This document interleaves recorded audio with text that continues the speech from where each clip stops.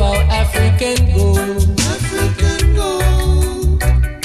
We down here in a Babylon, I serve life saying times. We down here in a England, I feel starvation.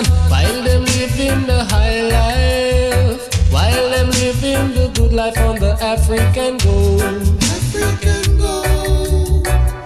let me tell you the story that has never been told. Never been told.